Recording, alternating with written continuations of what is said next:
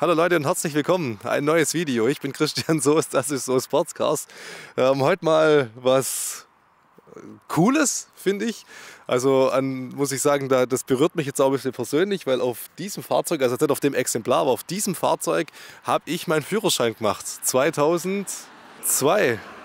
2002, 2000, ja, 2002. da muss man kurz zurückdenken, das liegt schon weit zurück, ja ja, da ist man halt auch schon viel drin gesessen in dem Auto. Und es war damals halt so das Maß der Dinge. Ja? Also wir sprechen über einen Golf 4 GTI. Und hauen wir gleich einen Carporn raus, oder? Auf geht's.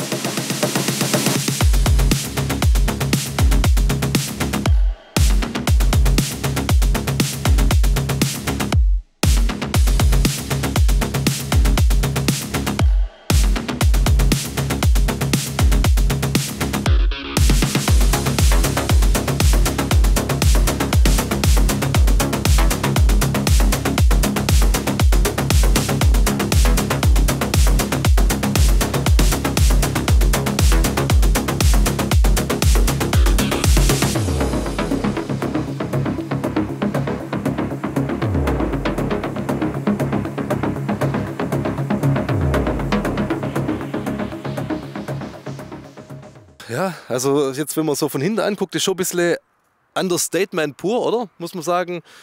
Ist aber auch so der erste Golf, der jetzt von, von dem Maße her, von den Proportionen auch äh, größer, größer wurde. Ja, Golf 1, 2, 3 sind ja von der, von der Abmaße deutlich kleiner. Ja, das war jetzt hier dann schon ein, ein, ein richtiges Kfz, auch mit, mit, dem Innenraum. Ja, man kennt es eigentlich mehr oder weniger nur am GTI-Schriftzug. Man muss schon weit runter gucken, dass man dann die zwei Endrohre drunter sieht. Ja. GTI gab es in einigen Motorversionen, witzigerweise. Ich weiß nicht, ob das alle wissen. Den GTI gab es wie hier mit dem berühmten 1.8T. Ja, die Fans kennen den Motor. Dann gab es ihn als 2,3 Liter Fünfzylinder Sauger und als 1,9 Liter TDI GTI. Genau so hieß der damals. Ich habe es auch nicht geglaubt, aber von einem Bekannten von mir, der Vater hatte den so. Und dann war das nämlich auch mein Fahrschulauto. Also gerade mit dem 150 PS TDI-Motor hatte ich den in der Fahrschule. Und damals war es natürlich eine Welt. Ja, was hatte die? 300 Newtonmeter oder so. Ja, ging schon vorwärts. Ja. Also da konnte man schon Autofahren lernen.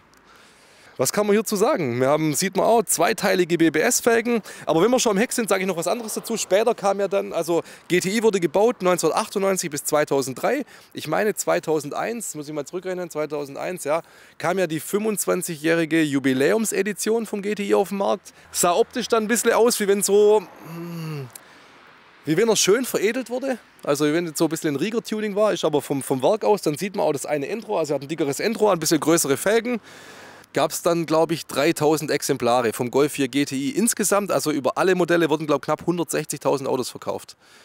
Schon eine ordentliche Zahl. Aber ich meine, guck mal, man sieht ja heute noch Vierer Golf rumfahren. Also ich finde, ah, das ja, ist ja, war eine Zeit lang, glaube ich, eins bestimmt von den, von den meistgefahrenen Gölfe, oder? Ja, schon. Also gefühlt, ja. Und auch so das typische Fahranfängerauto über Jahre hinweg. Selbst 6er Golf, 7er Golf draußen war, hat ein Fahranfänger noch ein 4er Golf. Ja, also wenn, wenn da die Karosserie nicht durchgammelt, muss man sagen, ist die, die Technik eigentlich schon sehr robust. Zweiteilige BBS-Felgen haben wir auf dem GTI. Ähm, haben uns jetzt schon gefragt, ich habe gar nicht recherchiert, dürft ihr gerne in die Kommentare schreiben. Gab es den damals auch schon als Fünftürer, den GTI, oder gab es den nur als Zweitürer? Sche muss man vielleicht zu der Zeit noch sagen, wir haben Scheibenbremsen vorne und hinten, aber auch sonst von der Seite. Ja, Traktor, gib alles. Sonst auch von der Seite jetzt keine Merkmale oder irgendwelche Kennzeichen. Normalerweise bei den späteren hast du dann immer hier so den GTI-Badge oder so. Ähm, haben wir nicht, also man kennt es eigentlich nur an den Felgen. Ähm, wenn wir jetzt nach vorne gehen, sehen wir hier auch wieder den GTI-Badge. Aber sonst optisch eigentlich unterscheidet er sich auch kaum vom anderen Golf. Ja? Wir haben Xenonlicht beim GTI. Gut, das war natürlich zu der Zeit das Nonplusultra. Ja, heutzutage ist das ja auch schon lange überholt. So, also check, check, check. Aber VW ist ja so nutzerfreundlich, das kriegt man mit einer Hand hin, oder? Aha. Yeah. Haubendämpfer. Haben sie ja dann irgendwann mal weggelassen bei den späteren Modellen. Gerade beim 8er Golf. 20 V Turbo, da haben wir einen 1.8T. So wie ihn die Leute kennen und lieben. Ja, gibt es nicht viel zu sagen. 150 PS haben wir. Boah, sollten wir als Drehmoment und so wissen. Ha? Kann ich das, kann ich das schätzen? Wir, wir blenden es ein. Ich schätze trotzdem mal, vom Gefühl her sage ich, der hat 200 Newtonmeter. Na, nee, dann wäre es ein Sauger. Ja, sagen wir 220 Newtonmeter hat der Drehmoment. Schätze ich jetzt einfach mal so pauschal raus. Ähm, schätzen oder nochmal anheben? Ah, Gewicht. Ja, aber das war so, man hat ja so das Gefühl gehabt, finde ich, Einzelgolf war natürlich das, das, der Golf, ja. Einzelgolf GTI. Der Zweiergolf GTI hatten auch noch Freunde von mir früher, das war ja auch noch so ein bisschen ein Hype. Am Dreiergolf ist dann richtig abgeflacht. Lag aber auch, finde ich, daran, dass dann auch zeitgleich den VR6 gab. Ähm, und hier beim Vierergolf ist ein bisschen das Problem, finde ich. Der, der GTI ging natürlich völlig unter, weil es vom Vierergolf ja auch später den, den R32 gab. Und das war ja für viele so der Übergolf. Ja? Und dann hat so der GTI, finde ich, so ein bisschen, ja, ich finde, man muss, muss aber auch die Kirche im Dorf lassen, weil wenn man den GTI, wir fahren den nachher auch eine Runde, der ist auch schon sehr weich und so. Also das fühlt sich eigentlich an wie ein Vierergolf mit einem starken Motor. Ist auch meiner Meinung nach dann eher so ein bisschen Richtung Alltagstauglichkeit entwickelt worden und nicht mehr so was, was den Spirit ausgemacht hat von dem GTI. Und deshalb war der wahrscheinlich auch nie so wirklich beliebt, der Vierergolf. Aber inzwischen muss ich sagen, der Markt zieht gerade schon ein bisschen an, was die Preise angeht. Gerade für gute Exemplare wie der hier, muss man sagen. Also erster Hand, tipptopp Zustand. Und darf man ja auch sagen, war nach einem Tag schon verkauft. Grüße gehen raus an Lukas. Das ist halt schon krass. Jetzt verzeiht mir auch, wenn ich jetzt nicht alle Details von dem Auto habe und da recherchieren konnte. Aber wir haben einfach gesagt, weil wie gesagt, der war jetzt auch echt schnell verkauft. Da müssen wir noch ein Video drüber machen weil mich hier einfach emotional so viel mit dem Auto verbindet, so eigentlich meine ganze Jugend. Ja, ist ja für, oder ich meine, es hat sich ja jetzt ein bisschen gelegt, aber früher war das ja für einen das Wichtigste, der Autoführerschein. Ich kriege jetzt inzwischen von vielen mit, das ist denen ja eigentlich egal, ob sie einen Führerschein haben oder nicht. Also irgendwie ist das so ein bisschen abgeflacht. Aber das war halt damals das Wichtigste und deshalb bleibt auch so ein Auto hängen, mit dem du da auf, oder auf dem du den Führerschein gemacht hast. Und wenn ich jetzt hier so im Cockpit sitze, ja, so das, das alles so ein bisschen blau hinterlegt und so das, das Design von den Armaturen, das, äh, das hat sich unter die Haut brennt. Auch so das am Radio hier das Blau alles, alles blau beleuchtet. Das kommt mir auch bekannt vor, ja. Das ist schon krass. Wie nennt VW das Holz hier am Ding? Ich glaube Myrteholz. Okay. okay. Wir haben ein Fünfgang Handschaltgetriebe, für die, die es noch interessiert. Ja, Myrte. Wobei das ja gar nicht so viel Holz ist. Also nee, es ist nicht viel. Das, also ich finde es jetzt auch nicht extrem schön. Genau, und es ist auch dunkel und der Innenraum ist auch genau. dunkel, deshalb das beißt sich auch nicht. Nee. Ähm, ich, es gibt R32 mit so einer überhellen Wurzelholzausstattung. Ich nenne es immer okay. Wurzelholz. Ja. Das sieht dann mal, finde ich, krass aus. Ja. Und inzwischen ist das aber auch schon richtiger Hype. Also es gibt Leute, die suchen dann einen mit der heller okay. Holzausstattung ja. innen. Ähm, aber hier ist das recht dunkel gehalten. Und dann erinnere ich mich da auch noch ein bisschen drauf. Ich, ich hatte mal ein Ah, da haben wir uns noch nicht gekannt, oder? Ein Bora VR6. Nee. 2,8 Liter. Boah, Junge, das war ein Panzer, mit dem habe ich alles gemacht. Und der hatte ja auch praktisch das, das Vierer Golf Interieur. Ja. Aber halt mit dem VR6. Ja. Also wenn wir jetzt hier, weißt du, so bei 80 kurz mal. Weißt du, das schon. Ja, geht schon. Ja. Er fährt schon. Kann man nichts sagen, ja. Vor allem sehr ruhig, gell? Total unaufgeregt es ist halt alles sehr, also sehr, sehr weich. Ja. Die Lenkung, weißt du, so, ja, du hast halt den dicken Reifen, du hast so mehr oder weniger, ich will nicht sagen kein Feedback, aber es ist halt einfach ein Alltagsauto. Es war halt auch die damalige Zeit, da war noch nicht alles so extrem Da war noch nicht so, genau. Das mal so ein bisschen andere Hersteller. Und das war halt so bei mir ein bisschen die Zeit, warum ich auch arg dann so auf Japaner geschielt habe, also die ganze JDM Geschichte, weil die halt mit ihren Autos schon recht sportlich unterwegs waren. Im Gegensatz zu den deutschen Fahrzeugen immer, muss man überlegen. Ja? Also wenn meine Freunde hier sowas gefahren sind oder so, weißt, habe ich halt, muss ich überlegen, von der Zeit her, jetzt gut, kannst du jetzt nicht so direkt vergleichen, aber trotzdem ein, ein Honda Civic Type oder ein Mitsubishi Evo oder so, weißt, das waren ja ultra High Performance Autos zu der Zeit ja, im Vergleich zu, zu dem hier. Und selbst der R32 muss ich sagen, klar, der lebt von seinem Motor und von dem Klang und der sieht ja optisch richtig gut aus. Aber jetzt so richtig viel kann das Auto halt auch nicht. Ja? Und er fährt schon nicht schlecht. Er fährt nicht schlecht, oder? Hat was, ja. Gell? Auf jeden Fall. Du kommst vorwärts. Also ich kann verstehen, wie gesagt, der, der, der neue Besitzer von dem Auto, der sucht auch was für den Alltag. Und ähm, ja, da funktioniert das Ding auch. Und ich finde auch ganz ehrlich, der Innenraum, der ist jetzt auch nicht, äh, sieht jetzt nicht nach 2002 aus oder so. Also ich finde, das haben die echt gut hinkriegt ja. damals, dass das ja. in der heutigen Zeit jetzt nicht so aussieht, wie wenn das jetzt schon fast also ist. Ich würde sogar sagen, der eine oder andere sagt wahrscheinlich, dass zu der Zeit noch die Verarbeitung auch gut war. Wahrscheinlich, ja, das noch dazu. Weißt das fühlt sich auch alles, ich meine, klar, es ist Plastik, ähm, aber es fühlt sich alles, wie soll ich sagen, fest an. Fühlt sich gut Es klappert auch nichts.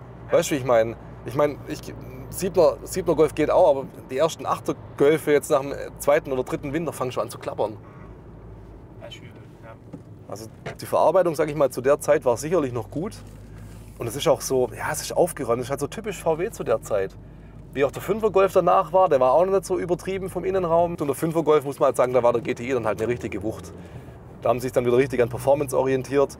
Und dann blieb halt der Vierer irgendwie so ein bisschen auf der Strecke. Die, die Edition, die 25er Edition, äh, die war schon immer wieder mal ein bisschen beliebt. Aber so der normale GTI ging halt ein bisschen unter. Aber wie gesagt, jetzt gerade hier, das Problem ist halt, du hast halt ein, ein Rostproblem mit dem mit Vierer Golf. Und da sind halt viele weggegammelt. Was wir auch noch machen, was bestimmt lustig ist, da finden wir bestimmt gute Bilder. Wir blenden mal so ein paar, weil das war so, glaube ich, das typische Vierer Golf, das typische Tuning-Fail-Auto, oder? So ja. Flügeltüren und Dinger. Ja. Was ja zu der Zeit sicherlich geil war, aber da können wir jetzt mal so ein paar Tunings und blenden wir mal ein. Das blenden wir mal ein, weil da passt er rein.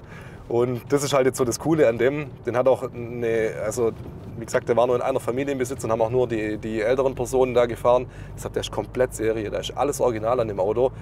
Und dann hat es schon fast wieder was Besonderes. Ja. Ja, es ist einfach witzig. Also da wollte, da wollte ich jetzt noch mal reinfühlen in die Zeit. Und es kommt echt an. Weißt du, du kannst halt auch so, auch von der Leistung her, weißt easy, sag ich mal, im modernen Verkehr mit, mitfahren ohne dass du jetzt sagst, es gibt ja das eine oder andere äh, ältere Auto, jetzt zum Beispiel hier ein Vierer Golf gibt es ja glaube ich mit 50 PS oder so. Weißt du, wo du dann, sage ich mal, ein kleines Bergstück schon wieder in der erste Gang runter musst. Ja. Auf sowas hätte ich halt keinen Bock. Ja, aber der funktioniert. Gehen wir direkt zu den Außenszenen, oder? Ja. Also. Let's go. Let's go.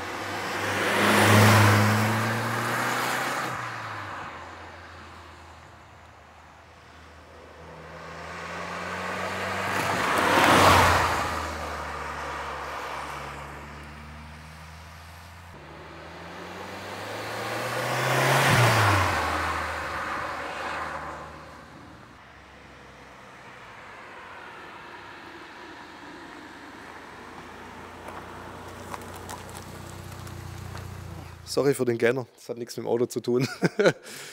ja, das ist echt bitter, haben wir gerade gesprochen. Der, der, die Zeitumstellung klaut uns wichtige Stunden, Tageslicht. Deshalb jetzt auch in der Halle das Ende. Was gibt es zu sagen? Preisentwicklung interessiert vielleicht viele. Aktuell muss ich sagen, gute, so wie der jetzt auch verkauft wurde, um die 10, 10.000 Euro. Gut, ich denke mal, da kannst du halt auch schon welche ab ein paar hundert Euro kaufen in dementsprechendem Zustand, bin ich mir sicher. Ja, aber gerade die, die GTI, in, we in, welcher Form auch immer, ähm, so ab, ab 10 gute, ja. Dann aber auch nicht arg viel weiter, weil so ja, 13, 14, 15 kommen dann die Editionsmodelle, wo ja ein bisschen beliebter sind. Und genau, Preisentwicklung, gut, ich sehe es halt mal, wenn, wenn der Zustand erhalten bleibt, sehe ich es als wertstabil. Ähm, ich glaube nicht, dass da jetzt große Sprünge gibt, dass sowas irgendwann mal 30.000 Euro wert ist, das glaube ich nicht. Aber im guten Zustand auf jeden Fall wertstabil. Soll es doch schon gewesen sein, oder? Fabrice, hast du noch was? Interessiert dich noch was? Geheimnisvoller Tim, willst du noch was wissen? Nein. Nichts? Also. ja, dann sind wir soweit durch. Folgt uns, ähm, liked die Videos, aber ganz wichtig folgen, die Klingel, ähm, die Glocke aktivieren, Klingel. ähm, wo sind wir überall vertreten? Facebook, Instagram, auch reinschauen, Instagram immer tagesaktuell. Äh, News, was reinkommt, was rausgeht. Ähm, Quick, StudiVZ nimmt langsam ein bisschen ab, ja, wird immer ein bisschen weniger. Ansonsten, genau, lasst ein bisschen Liebe da, das ist wichtig. Ja. Sowas muss man auch wertschätzen, das ist, das ist Arbeit, da stecken viele Leute dahinter. Und dann geht es bald weiter mit viele gute neue Videos. Schönen Abend, bis dann. Ade.